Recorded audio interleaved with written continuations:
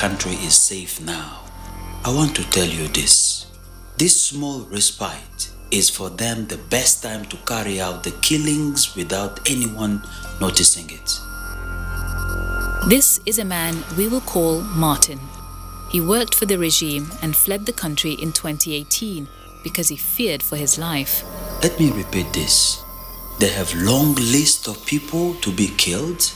They have list of army elements, police officers and civil servants who are to be killed because they are believed to be dissident or people who are believed not to support the ruling party enough. They have changed their operating mode, the cars, the body bags, the tents, the agents that they use in their new system. At the moment, the country is silent. But people continue to die and there will be no one left.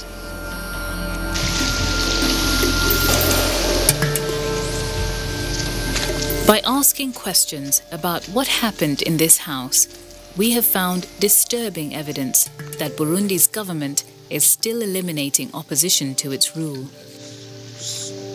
Multiple witnesses have told us about a hidden but systematic program of torture and killing. Local dissidents have a name for this. They call it Kame Kame, one by one.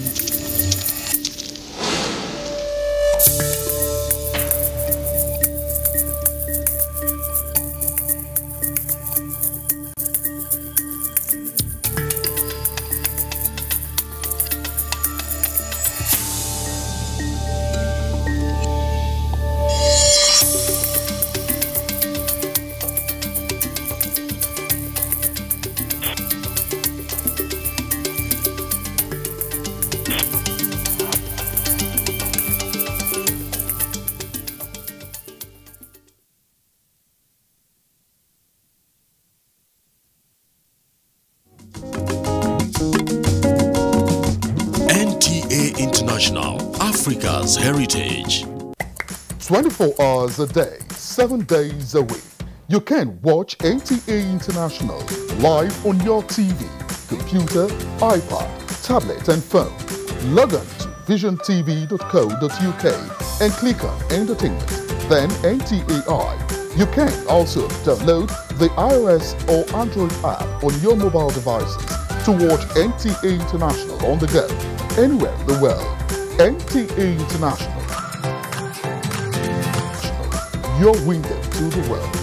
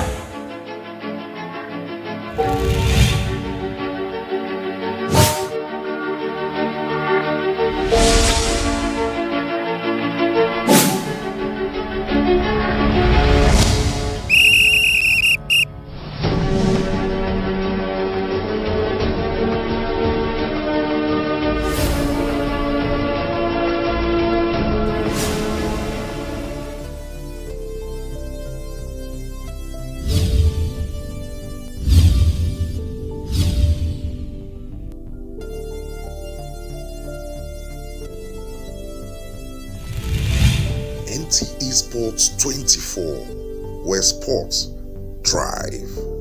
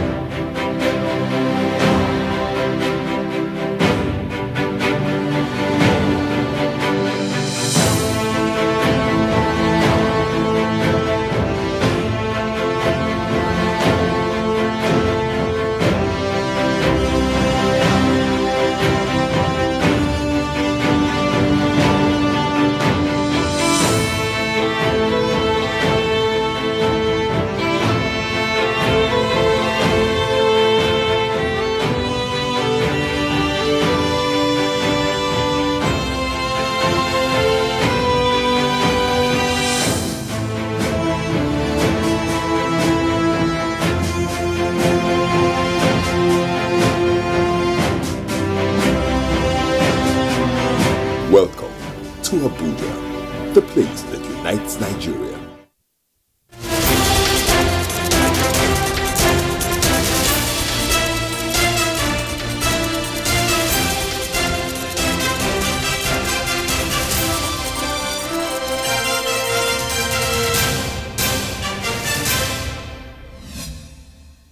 Good evening. Thanks for joining us on the news at 7 on NT International. We're live in Abuja and I am Ruth Aguela. Let's bring you the headlines. Supreme Court dismisses all Progressives Congress application for review of Bayelsa governorship verdict for lack of merit.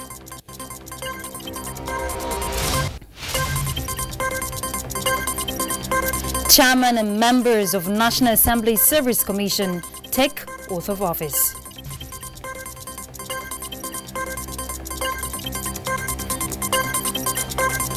Plus, stakeholders explore multinational engagements to tackle insecurity in the Northwest.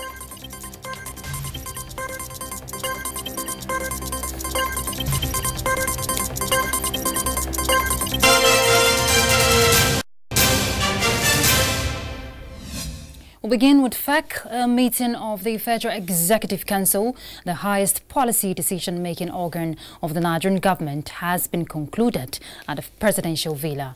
The meeting was presided over by President Muhammadu Buhari. State House correspondent Adam Sambo will bring us the details in our subsequent bulletin. Let's look at all the issues. The newly appointed chairman and commissioners of the National Assembly Service Commission have been inaugurated. The inauguration ceremony, which preceded the weekly meeting of the Federal Executive Council, was performed by President Muhammadu Buhari. State House correspondent Adam Sambo has the details. I will do right to all manner of people according to law. Ahmed Kadi Amshi, Fellow of the Nigerian Society of Engineers from Yobe State, is the chairman of the commission established in line with the provisions of Section 3, Subsection 4 of the National Assembly Service Act 2014. Born in 1954, Ahmed Amshi is a first-class bachelor's degree holder in mechanical engineering and master's in public administration from the University of Maiduguri. He served as permanent secretary in the Yobe State Civil Service, executive secretary, Nigerian Society of Engineers and was also the chief of staff to the then Senate leader between 2017 and 2019. Those sworn in as members of the commission were Babagana Modu, Borno, Senator Abubakar Tutare, Taraba, Hakim Olabode Akamu, Lagos, Motunrayu, Akintomide, Ondo, Francis Atano Meyowi, Delta, and Basi Olusegun Etuk, Akwa Ibom State.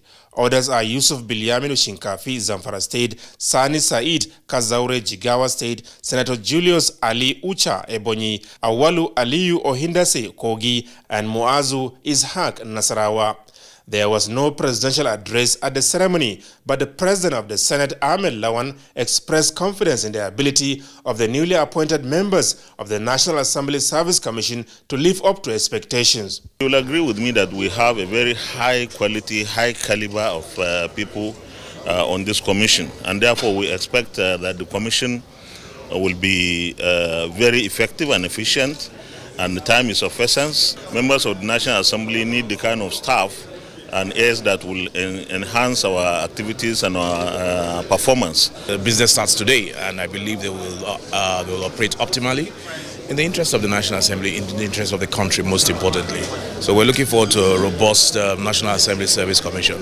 The chairman of the commission, Ahmed Amshi, and other members were full of gratitude to President Muhammadu Buhari for the confidence reposed in them and promised not to disappoint. We are really ready to put in our best with our past experiences to see how we'll move the nation forward in this line of assignment that we are put into.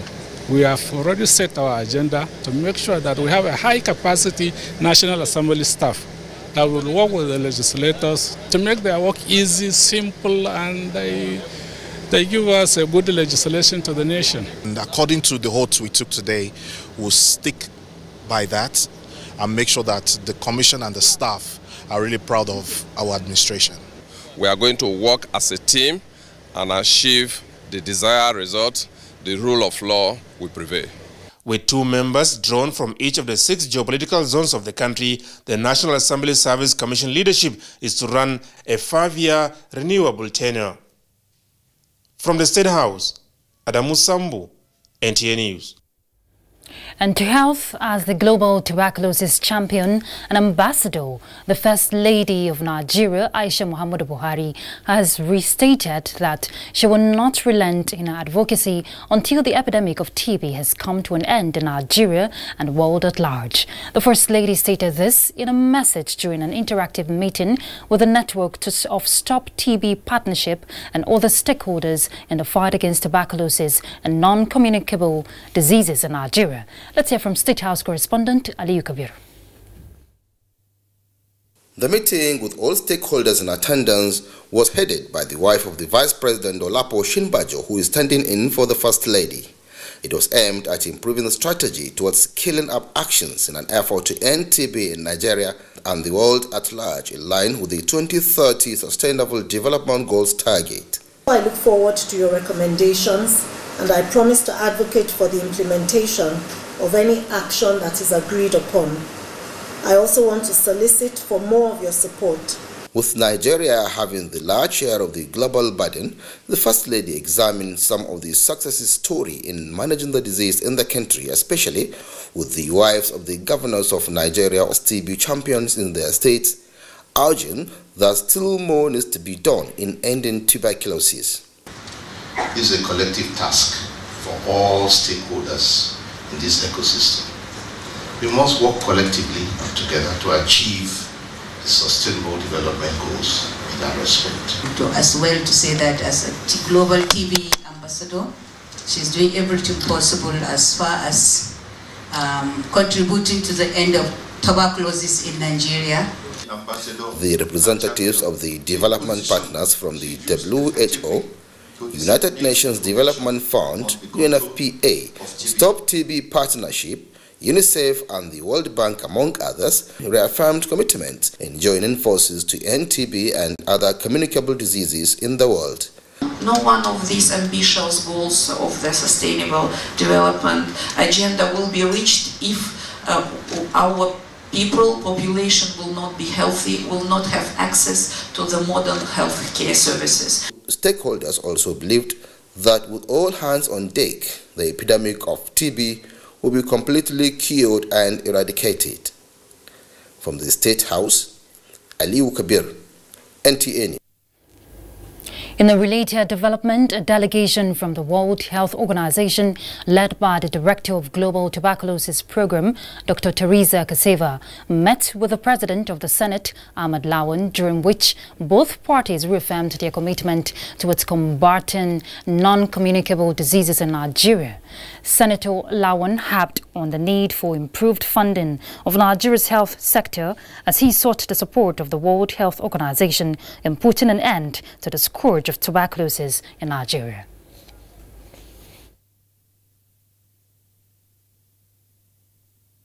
Constrained by the paucity of funds, uh, we wish we could have more funds, but we are also concerned that while we are trying to do our best, uh, United Nations uh, and other world organizations like World Health Organization are trying to, to support our country. So we hope that this support for the uh, non-communicable diseases will continue and uh, be even expanded.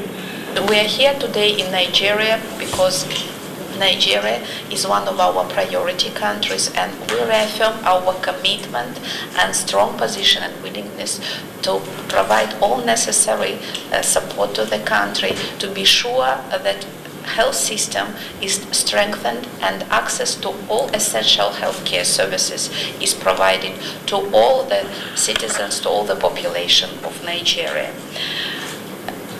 And we must say and acknowledge your efforts. The delegation advised Nigeria to increase its domestic investment on the primary health care.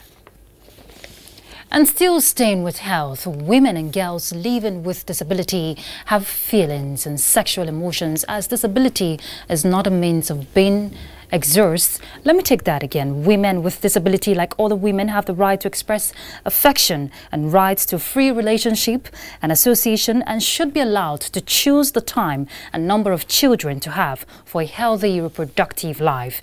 This is the essence of the capacity building by Disability Rights Advocacy Center with journalists on sexual and reproductive health rights of women and girls with disability. Basi Itang Ikbank will tell us more. Motherhood is said to be a thing of joy, but most times women that embark on this journey do not return home alive.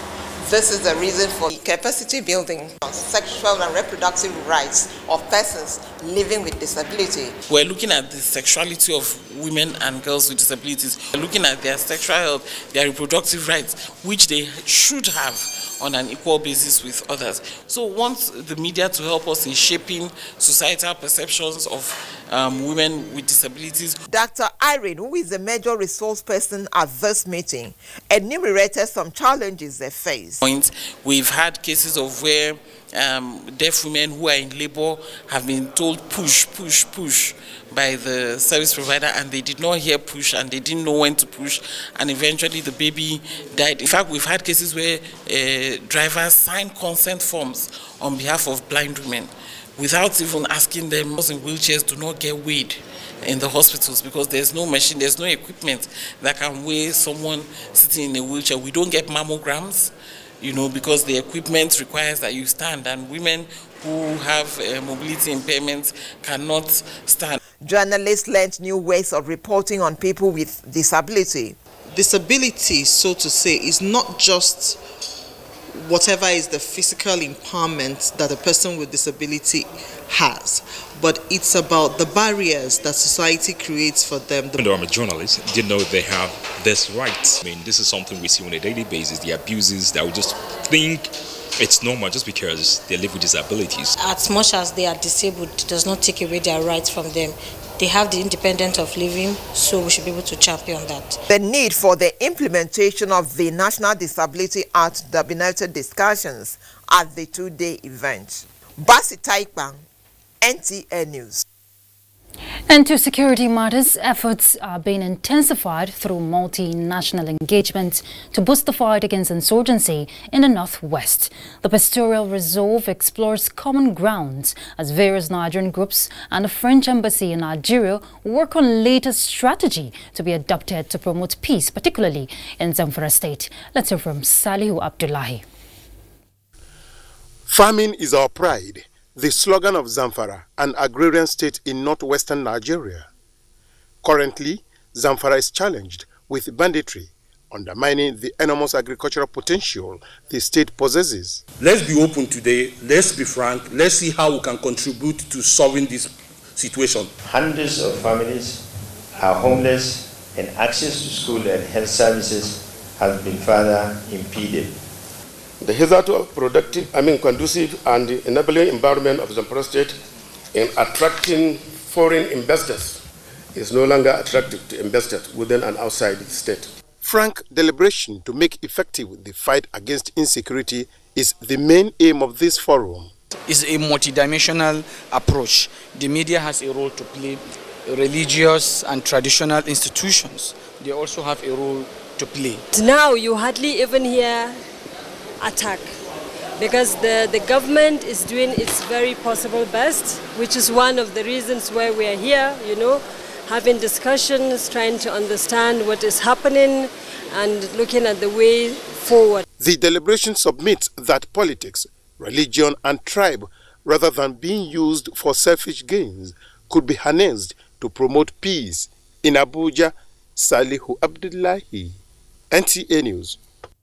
Still on security, but this time around for women, as the patience and sensitivity of women can be handy in critical conflict resolution dynamics of the military. A lecture in Abuja aimed at encouraging greater inclusion of women in the armed forces examined leadership areas where the unique characteristics of women can be utilized for service to the nation. Let's hear from Kelvin Ehunwahe. The military is presumed to be a unique profession. It is physical and military operations are risky. Observers believe that these attributes of the military makes it unattractive for many women. This lecture at the auspices of the Center for Gender Security Studies and Youth Advancement University of Abuja is essentially to change the narrative. There is no job without its associated risk. Going by my personal experience, I can, testi I can testify that the military as a profession is a noble one. We have seen them during their shooting competitions. We have seen that males, with females, are even outdoing the men. The men. Why don't you give them the opportunity to do what they can do? Let them fulfill their potentials. Don't think for them. Like catch them young. This is a learning institution, and most of them are just in 100 level. They may even decide to change their mind to pick the form to join the academy. The revelations by female members of the armed forces certainly rubbed off on Vivian Chije. She's a 300 level student of theater arts. Now, Vivian fancied a career in the armed forces. They leave the comfort of their houses, their family, just to go out there to save people. So sure, uh, I'm really motivated you know, to become one of them, like a soldier in particular. Sustaining awareness forums like this can help in raising the consciousness among young girls to emulate Flying Officer Kafayat Sanni, female fighter pilot in the Nigerian Air Force. In Abuja, Kelvin Ewonwaye, NTA News. And more grease to the elbow of our women fighters. Let's take a break. We'll be back shortly, so stay tuned.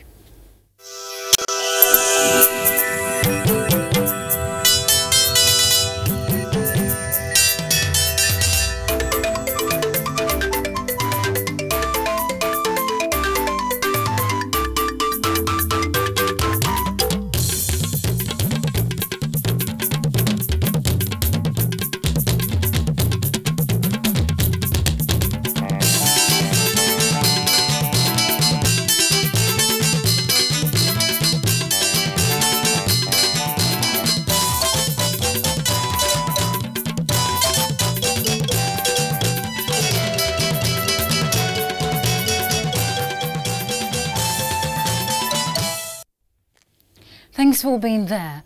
The Supreme Court has dismissed the application filed by the All Progressives Congress and former governor-elect and his deputy in Bayelsa State seeking review of its earlier judgment. The judgment, read by Justice Amina Augie, dismissed the application for lack of merit. Vera Chunwoba reports that the court awarded 30 million naira costs against the three applicants.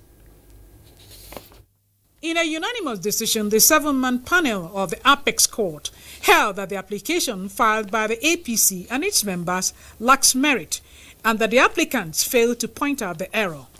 The judgment, read by Justice Amina Augie, said the application is frivolous and an abuse of court process. She said the decision of the court is final in line with Section 225 of the Constitution and that the court does not sit on appeal over its decision emphasizing that there must be an end to litigation. The court also held that a situation where every dissatisfied litigant will bring similar application will amount to bringing the finality of the court judgment being lost.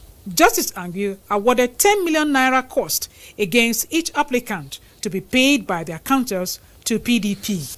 Counsel to David Lyon, Afe Babalola, earlier argued that the court acted without jurisdiction and also denied his client fair hearing. Counsel to PDP Tayo Oyetibo had asked the court to dismiss the application as no element of fraud had been established. This judgment today has re-established the finality of the position of the Supreme Court and judgments of the Supreme Court. It would have been scandalous if the court had acceded to the request to review and change its judgment two weeks after it was delivered. Because it were so, you will find that even judgments that were delivered 10 years ago will be brought back to this court to be changed. The court started to discourage such application from the younger ones. The APC had brought the application seeking review of its February 13th judgment, which overturned APC's victory in the Bayelsa state governorship election. In Abuja, Viera Chumuba, NTA News.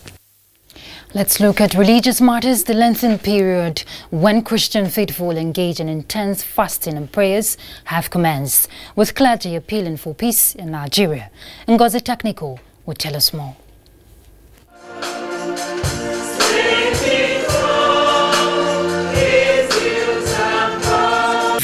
Is not the usual Sunday worship of the Christian faithful. These faithful are worshiping to commence the Lenten period on what is called Ash Wednesday. It is an ancient tradition of the Orthodox churches to remind Christians of the penitence and suffering of Jesus Christ. In the NTA Chapel of Resurrection, members of the Christian faithful were admonished to use the period to fast, devote more time to pray for oneself and the nation. When you fast, it, you get more grace from God. You get greater substance. And then when you fast and pray, it can change things. For us to sit back and reflect on the supreme sacrifice that our Lord Jesus Christ paid on the cross. So at this time, Christians are expected to go back into their closets, check their lives, see how well they fed, you know, it's a time of meditation. It's a time that you try and check how well have I fed, where have I gone wrong, and a time to get it right with Christ. The Lenten period lasts 40 days, with climax being the Easter. Ngozi Silva, Technical, NTA News. And to legislative affairs, the House of Representatives has resolved to conduct an investigation on alleged excess charges by banks on individuals and corporate bodies. The House noted that despite intervention by the Central Bank of Nigeria to stop excess charges by way of regulation, the practice remains, thus eroding customer confidence. The House Committee on Banking will liaise with relevant agencies to carry out the investigation. The lawmakers also urged the federal government to ensure rapid response towards curbing the spread of Lassa fever and other communicable diseases. Wednesday plenary passed a bill to establish Chartered Institute of Public Administration, while a bill to establish Federal College of Education in Osun State passed through second reading. Um, business news is next with Onenge Fine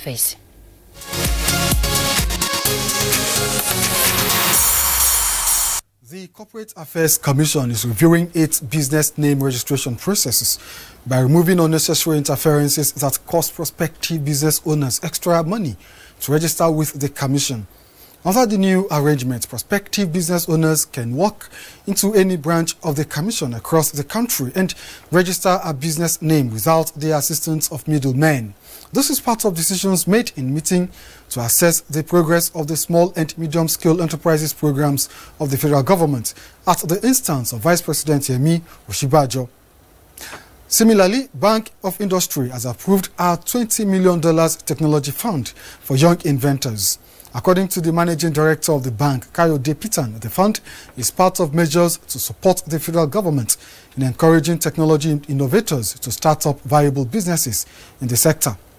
National Information Technology Development Agency, NITDA, will monitor progress by beneficiaries of the fund. And in the agricultural sector, the central bank is offering 90 billion naira soft loan facility to small-scale agricultural enterprises under the Agribusiness and Small and Medium Enterprises Investment Scheme. The loan is offered through the 56 branches of the National Microfinance Bank across the country. So far, CBN has disbursed 20,000 naira to 7,000 beneficiaries, with plans to give out additional 5 billion naira monthly to more beneficiaries. That's business news. I'm Onengie Fineface. Thank you, Onengi. Let's take you to Geneva, where we hear world leaders in Geneva, Switzerland are voicing hope for the international community to support the mandate and operations of the United Nations in its quest to strengthen institutions in upholding the human rights of all. At the 43rd high-level session of the United Nations Human Rights Council currently holding, the representatives of various countries, including Nigeria, give account of their commitments to human rights protection. Osman Aliyu reports from Geneva. Amidst deepening concern on human rights issues at this time when some parts of the world are affected by war and conflicts, world leaders at this United Nations office in Geneva condemned abuses on human rights, more especially violence against women and girls, rights of religion and beliefs. Most speakers from different parts of the world unanimously called for an action stopping human rights violation once and for all. Nigeria's Foreign Affairs Minister Geoffrey Onyeama stated that though the country is fighting terrorism, her commitment to the promotion and protection of human rights remain within guidelines of the Universal Declaration of Human Rights. Nigeria has created a Ministry of Humanitarian Affairs, Disaster Management, and Social Development. This is to enable us to respond adequately and expeditiously to humanitarian emergencies in the country. Nigeria recognizes the importance of adherence to international human rights obligations. With the establishment of a human rights desk at the headquarters and formations of the armed forces and the inauguration of the Department of Civil Military Relations, our military and security agencies are continually sensitized on the imperative of respect for human rights while countering terrorism. Nigeria also used the forum to tell the world that false information going around, particularly in the social media, denting image of Nigerian army is the work of mischief makers. I think it was important that we were here uh, to make this presentation because now in the, uh, the social media there are a lot of um, images uh, and uh, videos of uh, ostensibly Nigerian troops torturing um, prisoners and so forth. And a number of countries have reached out to, to us as a government to express their concern. And, um, you know, we've been very keen uh, to tell them that the government policy is very clear 14 member states were elected into the Human Rights Council at the 74th General Assembly of the United Nations. In Geneva, Usman Aliu, NT News. And talking sports, Nigeria Olympic Committee sensitizes fans on Tokyo 2020 Olympic tickets. Tamara Ebiwe is our guide on Sports Update.